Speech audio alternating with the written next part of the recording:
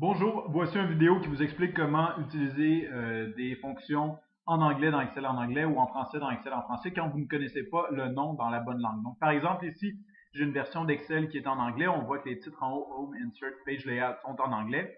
Mais si j'écris Sum, donc j'aimerais calculer la somme ici, j'obtiens une erreur. Le nom n'est pas correct parce que Sum n'est pas la bonne fonction.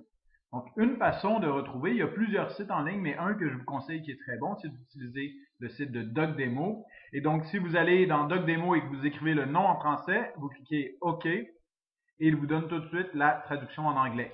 Ce serait la même chose si je voulais avoir une traduction de l'anglais vers le français. Je tape la fonction en anglais et j'obtiens la traduction vers le français. Alors, je peux retourner ici, changer le nom pour ce que j'ai vu sur DocDemo, somme, j'appuie sur Enter et voici la somme de tous mes chiffres. À bientôt!